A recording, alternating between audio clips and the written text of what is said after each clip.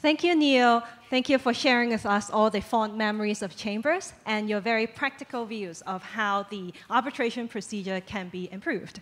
We will bear all these in mind and strive for excellence for chambers to serve the arbitration world and the community.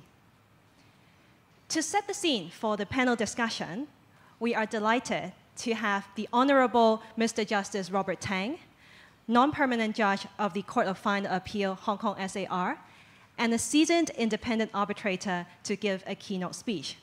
Mr. Justice Tang.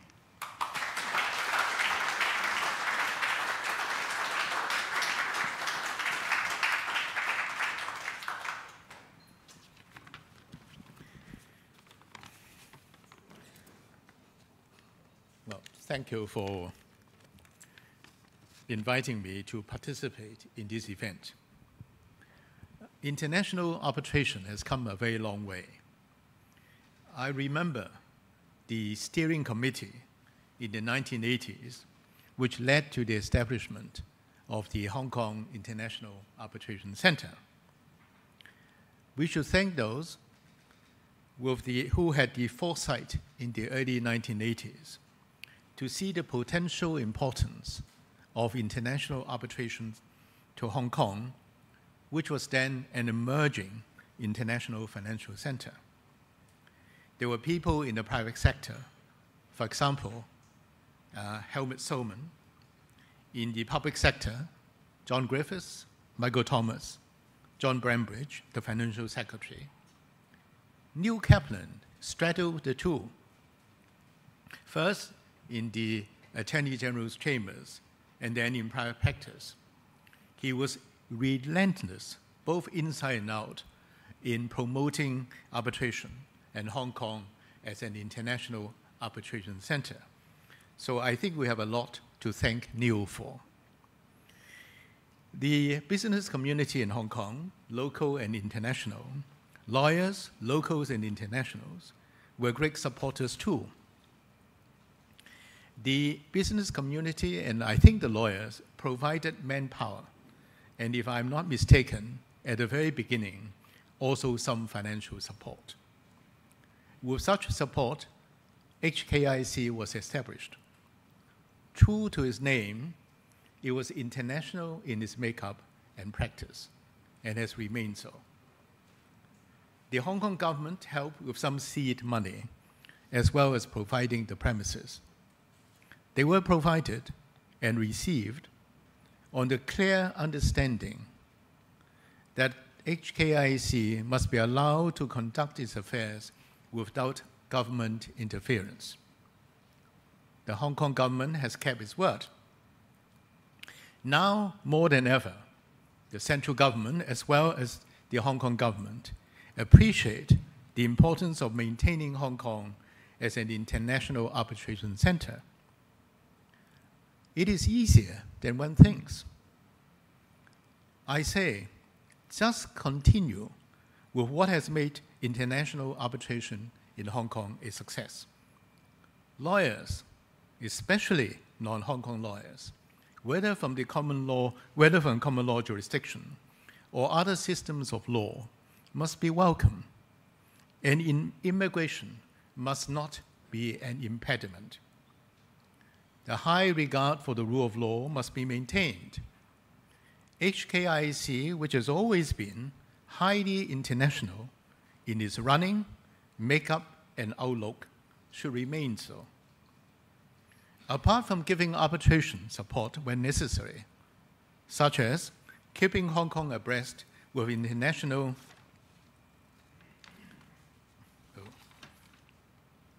development, the Hong Kong government should leave arbitration to be run by practitioners and independent bodies such as the HKIC.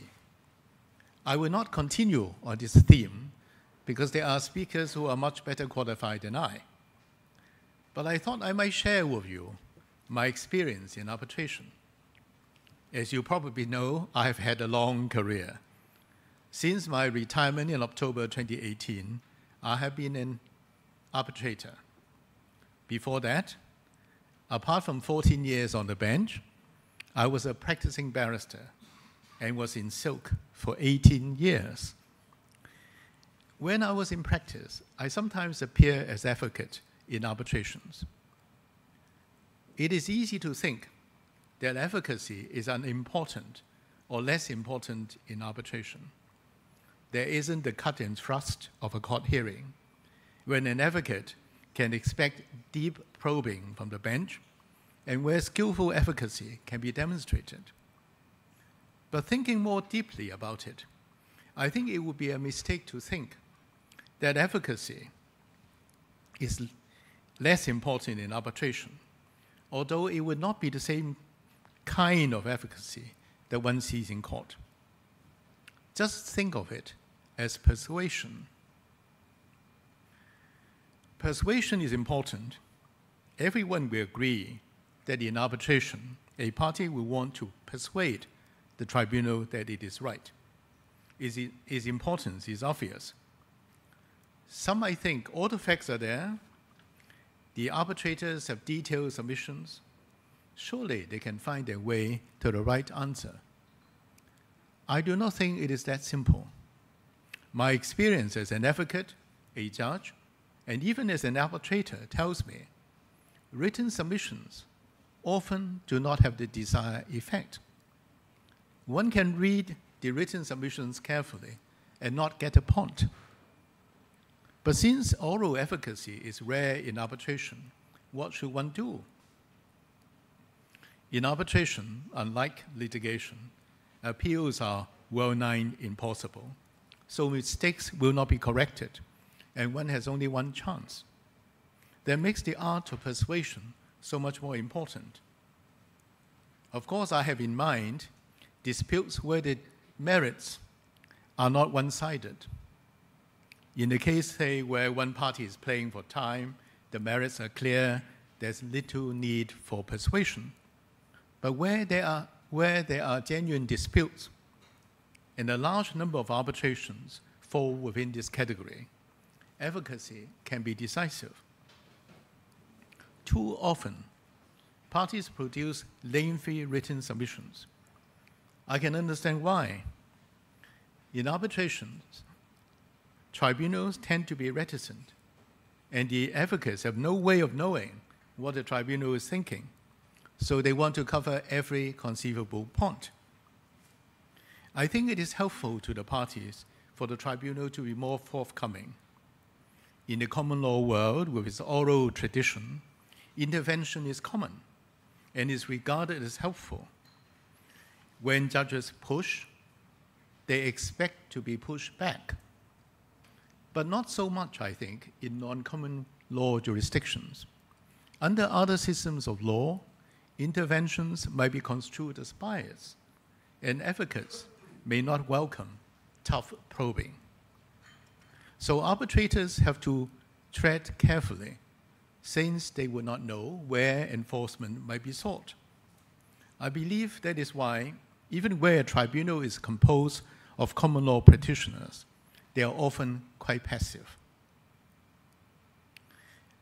As I said, my experience is that parties supply lengthy written submissions. They are lengthy for a reason because often they do not know what the tribunal was thinking. Unfortunately, sometimes they only find out when they receive the award. I think when possible, parties should ask for an opportunity for an oral submissions hearing. Recently, I was involved in an arbitration where all three arbitrators, before the oral submissions, supplied the parties with lists of questions. I believe the questions and answers help to clear the air and may well make a difference to the outcome. Even so, oral submissions tend to be brief, and there's always a possibility that the tribunal might think it has understood your point, but actually had not, and pertinent questions had not been asked. So, how does one make the best use of written submissions? Recently, I've been thinking about whether a page or as Neil reminded me, word limit should be imposed on submissions. I've not done so so far, but I wonder whether we are doing the parties any favors for not doing so. Without a page limit, very often submission only ends when nothing further could possibly be said. As a result, the cogency suffers. With a page or word limit, one has to prioritize. And I believe good advocacy requires one to prioritize. And to emphasize or only put forward good points. Without a page limit, some advocates do not want to be thought lazy.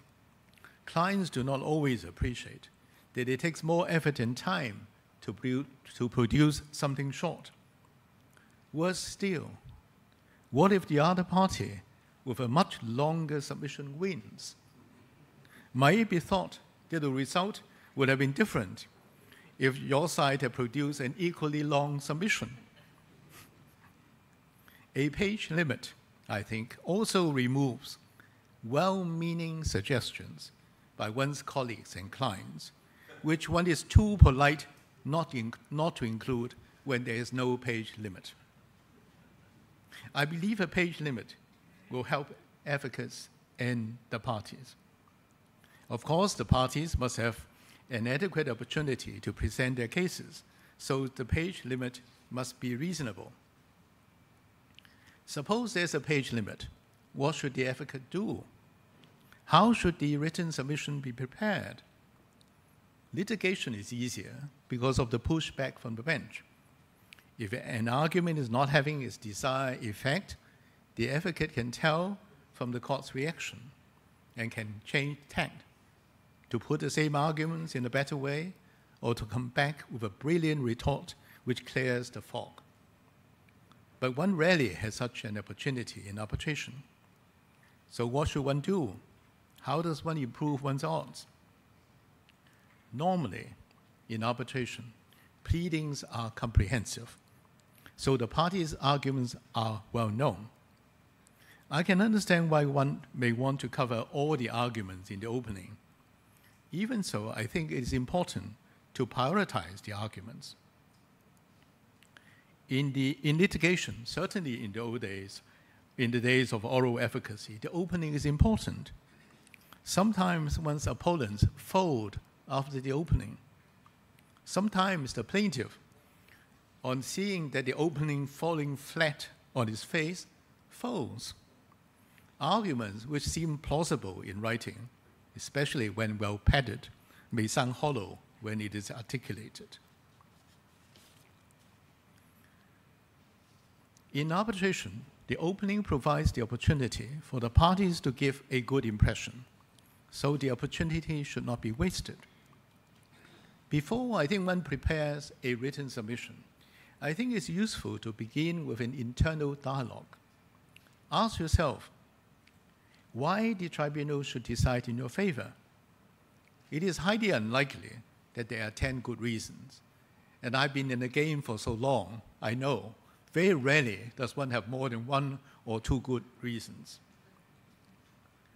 Remember, I'm talking about cases which could go either way you don't want it to tip to the other side. So there may only be one or two good reasons. Of course, the reasons may not be simple and will need elaboration. There may be factual disputes and they will take time to explain. And of course, arbitrations often involve more than one claim, and one has to perform the exercise for each of them. But I can see no reason why one cannot for each claim, explain what are the essential facts and the law and why one should succeed. Even when there are factual disputes, most cases are decided on documents and inherent probabilities. Cross examination is overrated. One can deal with factual disputes on paper, but it is important to remember not to be bogged down in the details there could be too much of a good thing. One should always identify one's best point or points and put them at the forefront. One should do so in the opening, but it is even more important in the closing.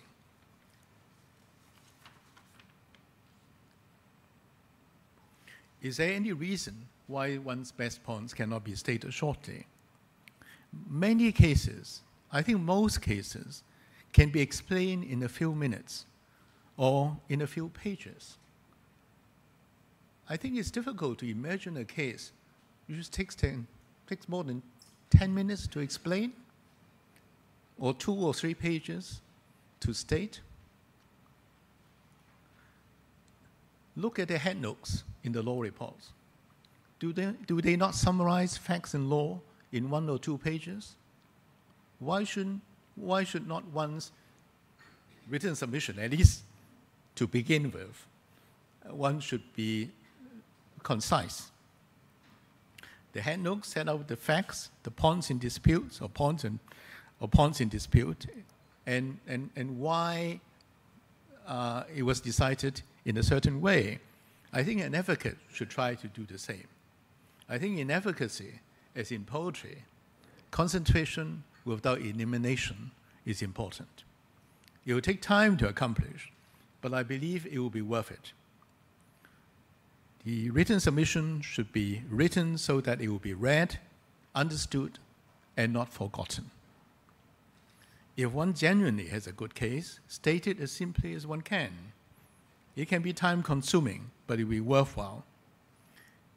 It is particularly important when it comes to the written closing submissions.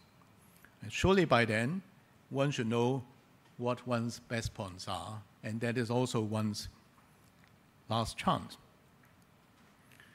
That is what trial lawyers do. They know, especially with a busy court, one has little time to make one's point. Often, one is under similar time constraints in arbitrations. But overall, I believe arbitrations are less, arbitrators are less abrupt and tend to keep an open mind longer. In litigation, in most cases, at the conclusion of the hearing, the court has a fair idea which side is going to win. In a minority of cases, the court is unsure. There are some cases where there are likely to be disagreement. Very often, on the same day or soon after, the judges will meet and find out what everyone thinks and see if, they, and see if there is consensus. I believe that in the highest court in the UK, after the conclusion of the hearing, judges would go around the table with the most junior judges saying what they think and why. That is a very good discipline. If there is potential disagreement, drafts will be prepared and circulated, sometimes with the view of garnering a majority. Arbitrations tend to be more straightforward. They also tend to be less immediate. Often the written submissions Uh, are produced a few weeks later. Arbitrators can and do take their time. That is good and bad. Good because, as I say, arbitrators keep an open mind longer. Bad because an arbitrator might not have prepared for or followed the proceedings with as, with as much care. They know they have plenty of time. That is where the written closing submission comes in. It should be short and to the point. A 100 page plus submission is not going to work. One should remember that when there are three arbitrators, they are likely to work at different speed. Some are quicker than others. Some are more decisive. Some tend to take their time. How do you convince the slow, keep, or turn the quick in your favor? The closing submission provides the last word and should be read and would be read with most care. So if you write it in such a way that it sticks in the mind, it will help arbitrators who have not yet made up their mind. A long and tedious repetition won't do it.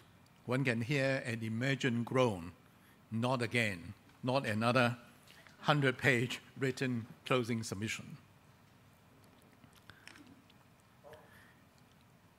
I have talked about imposing page limits and tried to justify it by appealing to the self interest of the parties. So that's easy. international arbitrations are here to stay. I can, one can tell from the people attending here. Neil talked about uh, barristers in arbitrations. What I want to say is that in Hong Kong, it is not uncommon for barristers to be instructed in international arbitration. And I think barristers should not think that because they do not have an exclusive right of audience, somehow they are at a disadvantage. My experience, brief though it may be, has told me from dealing with costs applications that the side which have instructed barristers, sometimes three or four of them, tend to have the lower aggregate bill. so barristers are highly competitive, and for a good reason, because you have lower overheads. And, and, and I think uh, they are more used to doing that kind of work. So they spend less time uh, on doing whatever they have to do. So barristers are highly competitive, at least in Hong Kong. And I don't see why it should not be otherwise everywhere. It should be otherwise everywhere. International arbitration are here to stay. Too much is at stake, and I do not believe international businesses will ever willingly agree to dispute resolution by national courts for all the obvious reasons. Governments understand that, so they have wisely left international arbitration alone. So it's left to the petitioners to make the most of it. A more difficult question than persuasion is how does one ensure that arbitration remains efficient and cost effective? I mentioned earlier what I politely describe as comprehensive pleadings. What can be done about it? What incentive is there to improve? It is easy to talk about advocacy and the importance of brevity because it is in the interest of the parties who want to win. But what about other improvements? Even in a jurisdiction with a well developed legal profession, strong and a strong judiciary, that's a perennial problem. In, in, international arbitration, no government intervention is tolerable. It is unrealistic, though, to expect arbitrators to be disciplinarians. Arbitration is too ad hoc for that to work. I confess I've been thinking about it and I simply have no idea.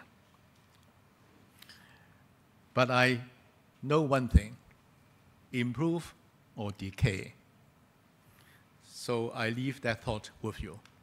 Thank you.